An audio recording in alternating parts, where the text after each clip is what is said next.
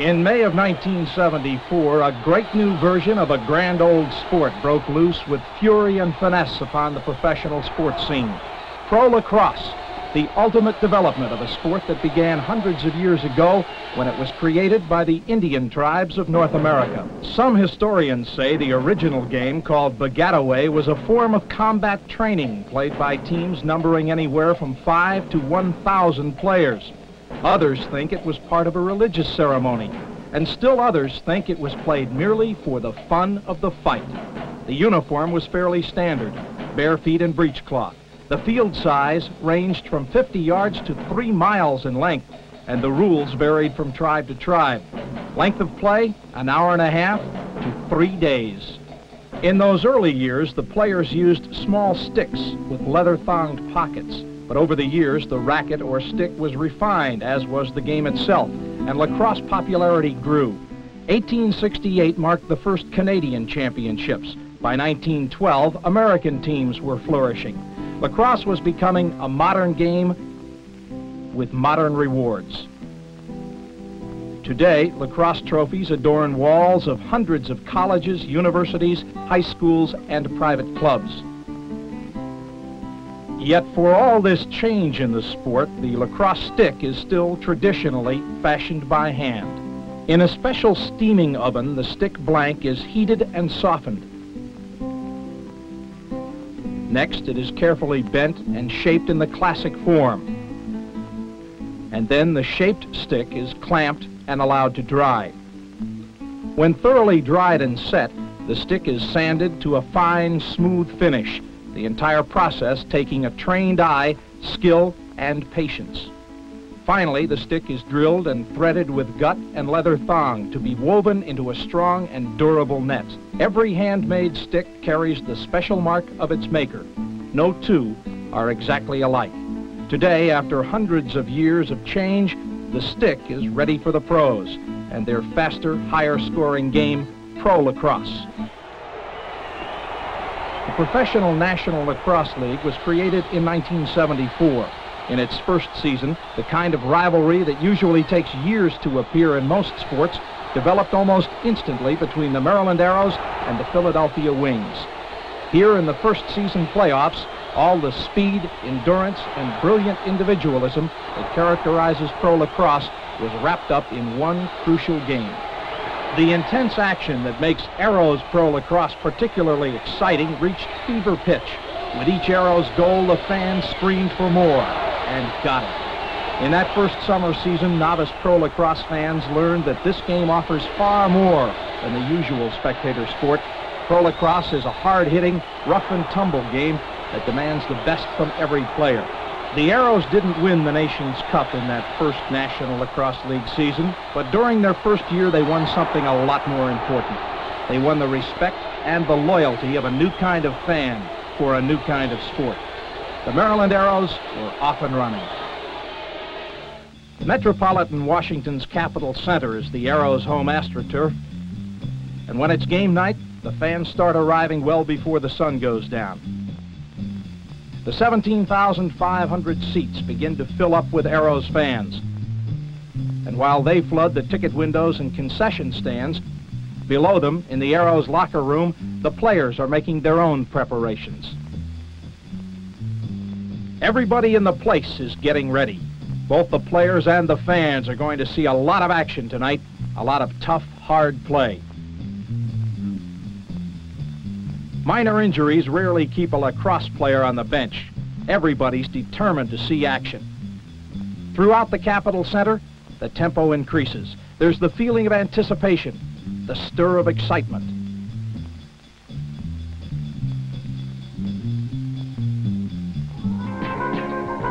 And then they're out on the floor.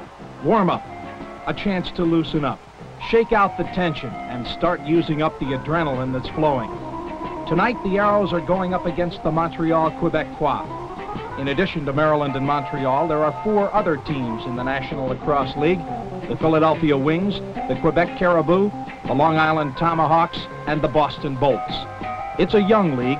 Every team is tough and unpredictable, and no two games ever look alike. Each lacrosse game is the payoff for years of intense training. Tonight's game will demand incredible stamina, speed, and skill from every man on the floor, and the kind of know-how these guys started getting as soon as they were old enough to hold a stick. The end of the warm-up period means that game time is just minutes away. The Arrows head for the locker room, and even the crowd takes a minute to catch its breath because the fans know that during the next 60 minutes, they're going to lose their voices. The Arrows take advantage of one of the few breaks they'll get all night.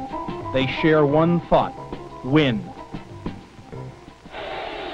Late arrivals are still buying seats, knowing full well they may not sit in them all night, as the fastest team on 12 feet comes out to keep them screaming. Every fan's attention is focused directly beneath the Capitol Center's huge Telscreen closed-circuit TV system. The last arrows enter the player's box. The face-off is to lacrosse what the jump ball is to basketball.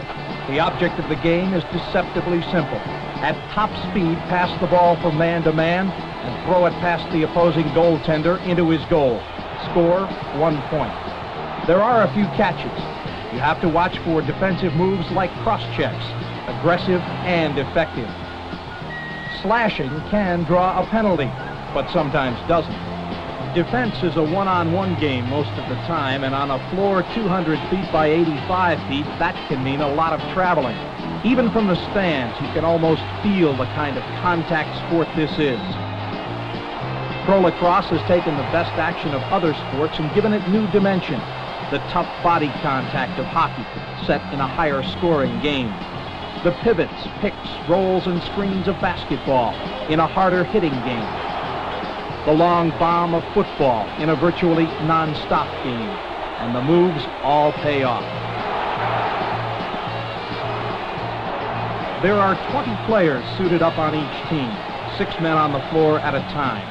Penalties are imposed by putting the offending player or players in the penalty box for periods up to 10 minutes.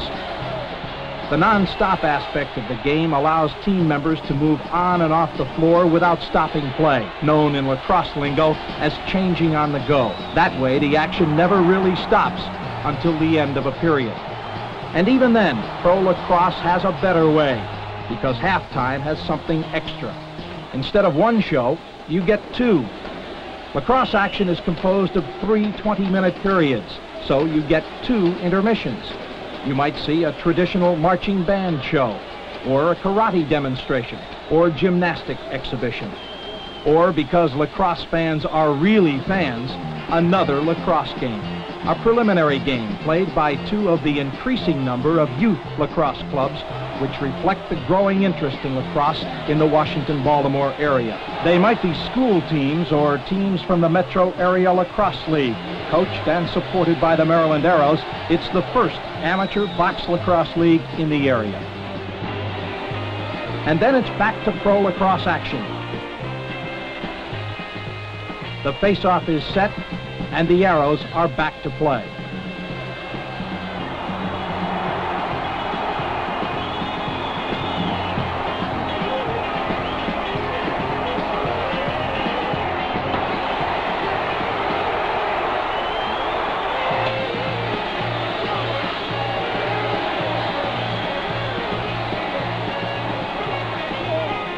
When the Arrows play at the Capitol Center, every fan tries to be there. And when the game goes on the road, fans follow the action by listening to Dick Trotter's play-by-play over the Maryland Arrows radio and TV networks. That's Bruce Arena working into the Arrow zone, into the corner against Guy Cody. Spins, looking in front, the pass to John McKenna. McKenna took the shot, and Thomas made a good save on the short side. Bill Bradley looks down floor for Suggett. The Arrows leading score plays it off the boards in front of Blair Campbell. He scores! It's summer's most exciting sports bargain. And once you've seen the Arrows play, you just can't stay away. Maryland Arrows Pro Lacrosse. Bet you can't watch just one.